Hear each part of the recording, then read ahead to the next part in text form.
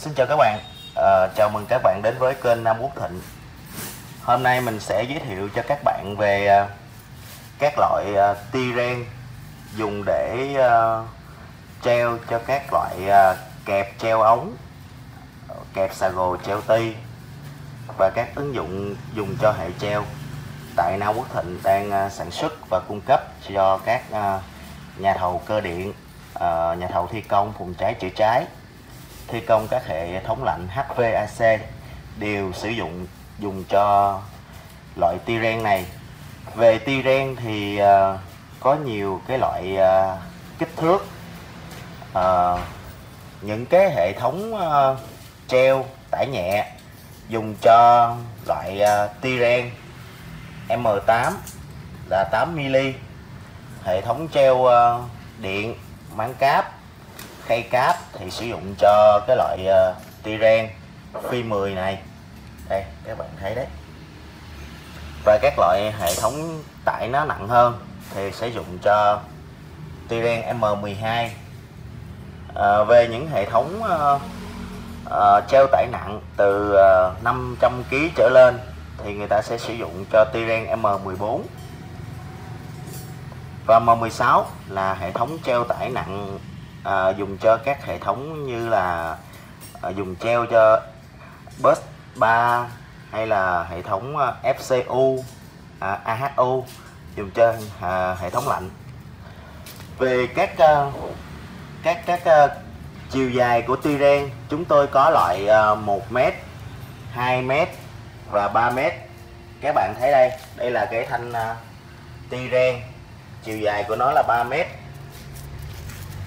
nếu các bạn sử dụng cho loại à, loại loại 1 mét hoặc 2 mét à, thì bên Nam Quốc Thịnh cũng có sẵn nha các bạn. Đây các bạn có thể đánh giá được cái ti ren nó có chất lượng hay không. Thì các bạn có thể nhìn vào cái bước ren có có sâu hay không độ sáng của cái lớp mạ kẽm nó có tốt hay không. À, đây là cái ti ren vật liệu của nó là mạ kẽm điện phân nha các bạn à, về cái ti ren thì à, người ta đánh giá được là cái bước ren của nó có sâu trong sáng.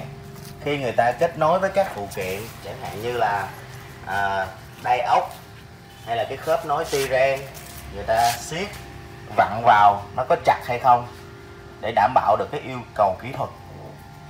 À, về uh, ti ren này thì người ta có thể kết nối bằng các phụ kiện như là nối ti để à, à, kết nối được cái chiều dài nó dài hơn hoặc là những cái ờ, cái đầu ti ren này người ta sẽ sử dụng một cái bịch đầu ti ren bằng nhựa để sẽ không có bị uh, chày xước khi mà chúng ta đi ngang lỡ có chạm vào.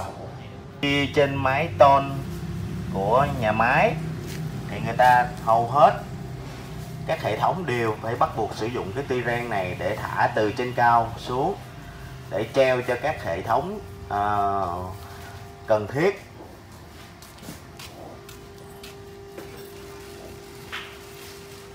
Đây các bạn thấy chất lượng của cái bức ren đây ạ. À.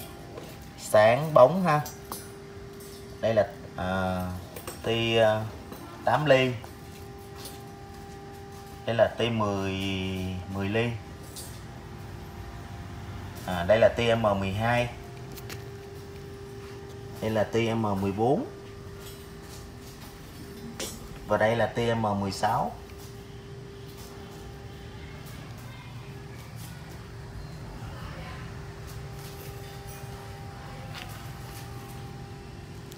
Vâng, tôi đã giới thiệu cho các bạn về các loại ti ren à, sử dụng à, nhiều nhất tại các à, dự án à, mà Nam Quốc Thịnh đang cung cấp.